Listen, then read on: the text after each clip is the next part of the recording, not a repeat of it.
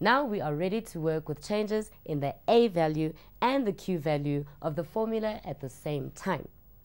Can you predict what will happen to the parent sine graph if we gave A a value of 2 and Q a value of negative 1? The general formula for the family of sine graphs is y equals a sine x plus q. So we want the graph for y equals 2 sine x minus 1. The change in the a value will cause all the y values to stretch by a factor of 2. So the graph will stretch away from the x-axis. The q value is negative 1, so the whole graph will be shifted down by 1 unit.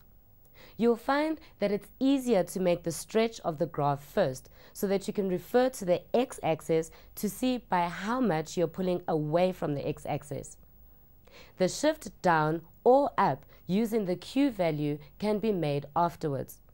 Sketch the graphs of y equals negative 2 sine x plus 2 and y equals half cos x minus 2 and describe the effects of the a and the q values on both graphs.